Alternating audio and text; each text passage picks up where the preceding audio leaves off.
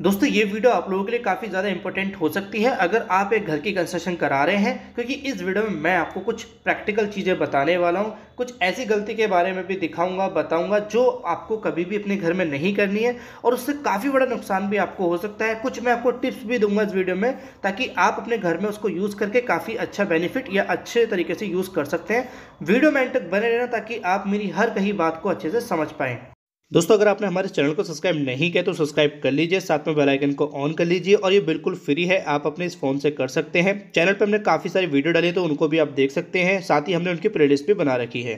तो यहाँ पे मैं अगर जो बात करने वाला हूँ बेसिकली जो आपने देखे होंगे कि जब हम अपने घर में पाइप प्रोवाइड करते हैं, जैसे कि रेन वाटर पाइप हो गया आपका, या टॉयलेट बाथरूम का पाइप हो गया तो उसको है ना, हमें इनलेट और आउटलेट के पर्पज़ से यूज़ करना होता है कि जो पाइप आ रहा है वो उससे पानी कैसे जाएगा और पानी जाएगा, आएगा कैसे, ठीक है? जाना और आना आउटलेट इनलेट ये सारी चीज़ें हमें ध्यान रखनी होती है।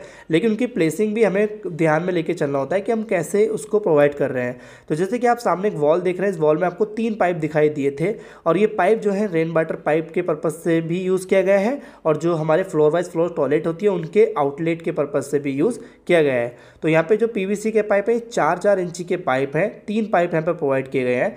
अब ये जो प्रोवाइड करने के पीछे आप जो देखोगे मोटिव ये है कि एक, एक ही जगह पे इन्होंने पाइप दे दिया लेकिन जिस तरीके से इन्होंने थ्रू आउट निकाला है बीम को कट करके जैसे आप देख रहे हैं ना एक तो होता है कि बीम की सरिये में से आपने निकाला है बट यहाँ पे तो बीम के जॉइंट ही खत्म हो चुका है जो पीछे से बीम आ रहा था।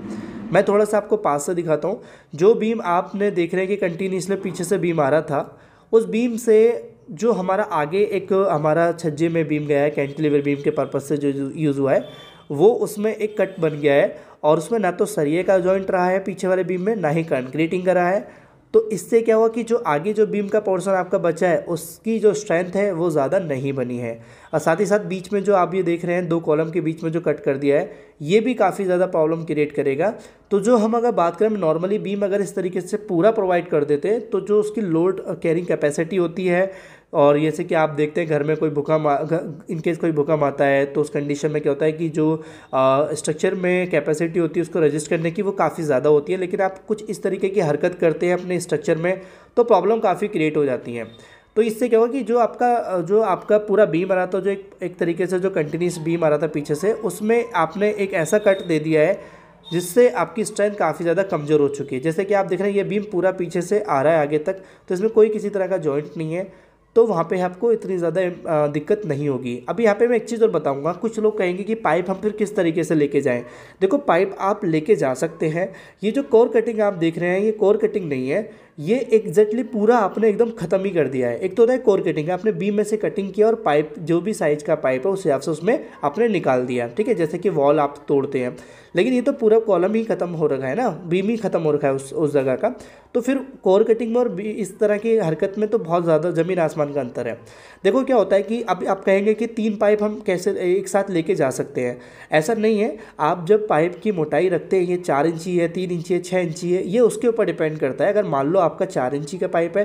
तो दूसरी कोर कटिंग जो रहेगी, वो करीब आप ये मान के चलो कि छः फिट के दायरे में आपकी कम से कम इतना आपको स्पेस छोड़ डिस्टेंस रखनी पड़ेगी। उससे ज़्यादा आप रखना चाहें तो रख सकते हैं, लेकिन फिर वो अगर आपकी चार इंची मोटाई है छः इंची पाइप होता है तो फिर उसकी डिस्टेंस और ज़्यादा बढ़ जाएगी।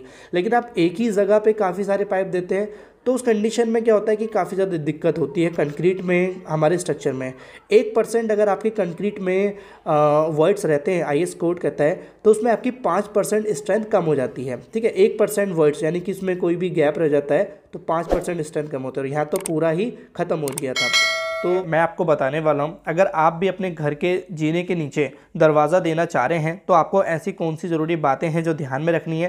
बेसिकली मैंने बहुत से साइडों पे देखा है कि कुछ लोग दरवाज़ा देते तो हैं बट कुछ ना कुछ गलती कर देते हैं। वो गलती क्या करते हैं? मैं आप से इस वीडियो में डिस्कस करूँगा और कहीं ना कहीं उनसे नुकसान भी हमें आगे चल के होता है। तो इसलिए होता क्या है कि सबसे पहले तो देखो, आपको ये जानना ज़रूरी होता है कि आप अपने घर में जो जीना दे रहे हैं, वो किस टाइप का जीना है? यानी कि जो स्टेयर केस होते हैं, वो अलग अलग टाइप के होते हैं। जैसे कि आप यहाँ जो देख पा रहे हैं, ये यहाँ पे डॉग लेग स्टेयर केस है। इसमें क्या होता है ना कि आपकी एक फ़्लाइट होती है, जिसपे हमारी पैरिया होती हैं और वो कनेक्ट होती है एक लैंडिंग में और दूसरी फ़्लाइट होती है, हमारी कनेक्ट स्लैब में तो वो डॉग लेग स्टेयर केस हो गया।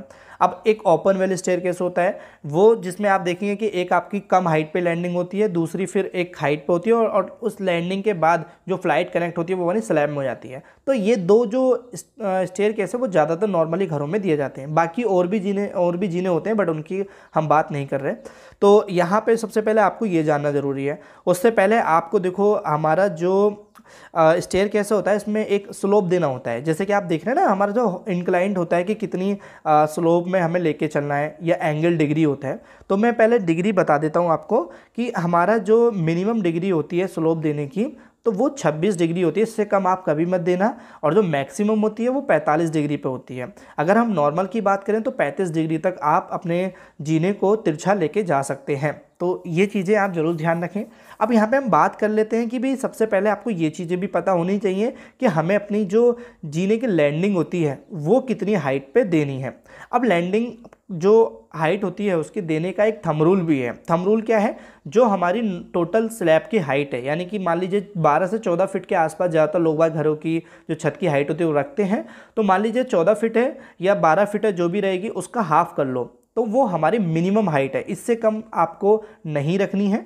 अगर मैं बात करूँ कि आप एक नॉर्मल हाइट कितनी रख सकते हैं? या दोस्तों, कुछ लोग क्या करते हैं कि जीने के नीचे जो दरवाज़ा दे रहे हैं, वो थोड़ी हाइट पे ज़्यादा रखते हैं। तो नॉमिनल क्या रहेगी? मैं कहूँगा कि आप सात फिट की हाइट जो जीने की रहती है, वो लैंडिंग की सॉरी वो रख सकते हैं, क्योंकि दरवाज़ा भी एक जो स्टैंडर्ड होता है, उसकी हाइट सात फिट ही होती है। बट यहाँ पे अगर आप सोचो कि आठ फिट का दरवाज़ा रख दें, कुछ लोग रखते हैं। मैंने साइडों पे देखा कि आठ फिट की हाइट पे वो क्या करते हैं, दरवाजे को रख देते हैं, उसकी हाइट फिर जो हमारा जो वो जा रहा होता है स्टेयर केस स्टेयर केस को थोड़ा फिर हमें उठाना पड़ता है, यानी कि लैंडिंग की हाइट को बढ़ाना पड़ता है। और वो कहीं ना कहीं फिर क्या होता है, वो खड़ा जीना हो जाता है, यानी कि स्ट्रेट हो जाता है। और हमारे घर में जो बुज़ुर्ग होते हैं या बच्चे भी होते हैं, वो चलने में थोड़ी दिक्कत होती है उनको, काफ़ी ज़्यादा फोर्सेबल लगता है। तो ये चीज़ ध्यान रखना कि आपको स्टेयर केस के नीचे अगर दरवाज़ा देना तो ज़्यादा हाइट भी आपको नहीं रखनी है। आप इसकी स्टैंडर्ड या नॉमिनल हाइट रख सकते हैं सात फिट। तो आई होप आपको ये क्लियर हुआ है। इनकेस अगर इससे रिगार्डिंग कोई डाउट है तो कमेंट में टाइप कर देना। चैनल को सब्सक्राइब कर लेना। अभी तक नहीं किया है तो और वीडियो को लाइक ज़रूर कर देना। Thank you.